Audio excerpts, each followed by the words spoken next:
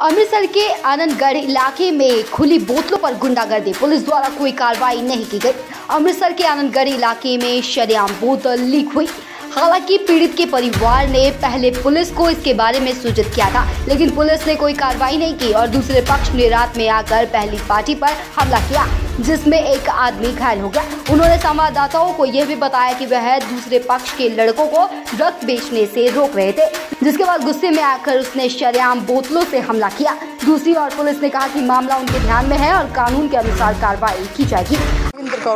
ਹਾਂਜੀ ਮੈਡਮ ਹੋਇਆ ਕੀ ਸੀ ਇੱਥੇ? ਲੜਾਈ ਦਾ ਕਾਰਨ ਕੀ ਹੈ ਜੀ? ਲੜਾਈ ਦਾ ਕਾਰਨ ਇਹ ਹੈ ਕਿ ਭਾਜੀ ਇਹ ਤਿੰਨ ਵਾਰੀ ਦਾਤਰ ਲੈ ਕੇ ਆਏ ਆ।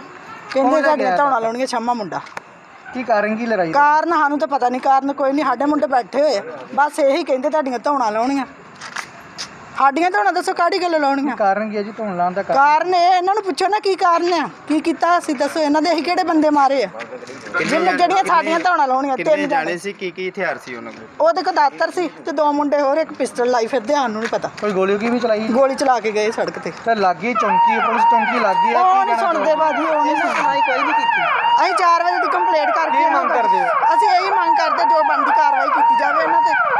ਸਾਡੇ ਤੇ ਨਜਾਇਜ਼ ਫਾਇਦਾ ਚੱਕੀ ਜਾਂਦੇ ਸਾਡਾ ਅੱਗੇ ਇੱਕ ਮਾਰਤਾ ਇਹਨਾਂ ਚਲੋ ਅਸੀਂ ਉਹ ਕੁਝ ਨਹੀਂ ਕਹਿੰਦੇ ਪਰ ਇਹ ਸਾਡੇ ਤੇ ਹੁਣ ਨਜਾਇਜ਼ ਫਾਇਦਾ ਚੱਕਣ ਦੇ ਪਿੰਡ ਵਾਲੇ। ਹਾਂਜੀ ਸੂਰਜ ਕੀ ਹੋਇਆ? ਕੀ ਸੀ ਇੱਥੇ? ਇੱਥੇ 20 25 ਮੁੰਡੇ ਆਏ ਜੀ ਭਾਈ ਤੇ ਜੋ ਕਿ ਇੱਥੇ ਵਾਵਾ ਬੋਤਲਾਂ ਬੋਤਲਾਂ ਚਲਾ ਕੇ ਗਏ ਗੋਲੀ ਗਾਲੀ ਚਲਾ ਕੇ ਗਏ।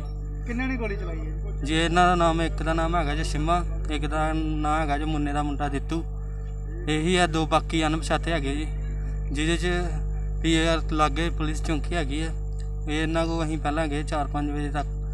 ਰਿਪੋਰਟ ਲਿਖਾਈ ਕੋਈ ਕਾਰਵਾਈ ਨਹੀਂ ਹੋਈ ਜੋ ਕਿ ਇਹ ਮੁੰਡਾ ਸਮਾਨ ਦਾ ਕੰਮ ਕੁਮ ਕਰਦਾ ਹੈ ਨਸ਼ੇ ਦਾ। ਤੇ ਉਹ ਉਹਨਾਂ ਦੇ ਨਾਲ ਹੀ ਮਿਲੇ ਮੁਲੇ ਹੈਗੇ। ਇਸ ਕਰਕੇ ਕਾਰਨ ਕੀ ਹੈ ਜੀ? ਲੜਾਈ ਦਾ ਕਾਰਨ ਕੀ ਹੈ ਹਾਂਜੀ? ਲੜਾਈ ਦਾ ਕਾਰਨ ਕੀ ਹੈ ਲੜਾਈ ਦਾ ਕਾਰਨ ਇਹੋ ਹੀ ਨਸ਼ੇ। ਕੌਣ ਵੇਚਦਾ ਨਸ਼ਾ? ਸਿਮਾ।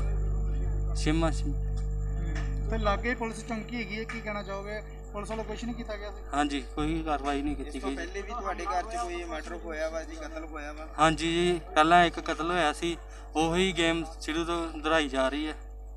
ਕਿ ਉਸ ਕ- ਕਤਲ ਤੁਹਾਡੀ ਕੀ ਮੰਗ ਕੀ ਹੈ ਜੀ? ਹੁਣ? ਹਾਂਜੀ। ਕੀ ਮੰਗ ਕਰਦੇ ਹੋ? ਇਹੀ ਵੀ ਇਨਸਾਫ ਚਾਹੀਦਾ। ਤੁਹਾਡੇ ਕਾਰਵਾਈ ਕਿੰਨੇ ਜਣਿਆਂ ਕੀਤੀ ਨੂੰ ਜਾਵੇ। ਸੱਟਾਂ ਲੱਗੀਆਂ? ਹਾਂਜੀ। ਕਿੰਨੇ ਜਣਿਆਂ ਨੂੰ ਸੱਟਾਂ ਲੱਗੀਆਂ? ਇੱਕ ਮੈਨੂੰ ਲੱਗੀ ਤੇ ਬਾਕੀ ਦੋ ਚਾਰ ਜਣਿਆਂ ਨੂੰ ਗੁੱਜੀਆਂ ਗੱਜੀਆਂ ਲੱਗੀਆਂ।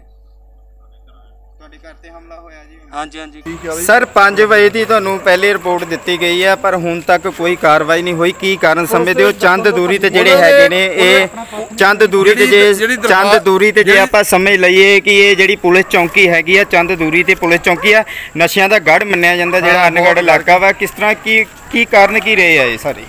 ਕਾਹਦਾ ਕਰ ਰਿਹਾ। ਕਿਉਂ? ਮਤਲਬ ਤੁਹਾਨੂੰ ਰਿਪੋਰਟ ਦਿੱਤੀ ਗਈ ਹੈ ਕੀ ਕਾਰਨ ਕੀ ਹੈ ਤੁਸੀਂ ਥੋੜਾ ਜਿਹਾ ਆਪਣਾ ਪੱਖ ਦੱਸ ਜੀ ਆਪਣੇ ਮੈਂ ਇੰਚਾਰਜ ਅਨਗੜ ਹਾਂਜੀ, ਆਪਣਾ ਪੱਖ ਦੱਸ ਦਿਓ ਨਾ ਸਰ, ਕੀ ਹੋਇਆ, ਕੀ ਹੈ?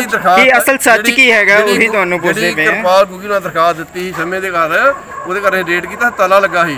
ਉਹ। ਐਂ ਦੀ ਕੇ ਗਿਆ ਤੈਨੂੰ ਗੁੱਗੀ ਨਾਲ ਕੇ ਬੋਲਾਂ ਮਾਰੀ ਸ਼ੁਰੂ ਕਿੰਨੇ ਜਾਣੇ ਸੀ ਉਹ ਕਿੰਨੇ ਜਾਣੇ ਸੀ ਇਹ ਸਰ ਕਿੰਨੇ ਬੋਤਲਾਂ? ਕਿੰਨੇ ਦੇ ਤੁਹਾਡੇ ਦੇ ਵੱਜੀਆਂ ਕਿੰਨੇ ਦੇ ਵੱਜੀਆਂ? ਕੁਝ ਦੱਸੋਗੇ ਸਰ? ਹਾਂਜੀ। ਬੋਤਲਾਂ ਕਿੰਨੇ ਦੇ ਵੱਜੀਆਂ? ਬਾਹਰ ਖੜੋਤਾ ਸੀ ਪਰ ਘਰ ਕਿੰਨੇ ਦੇ ਵੱਜੀਆਂ? ਤੇ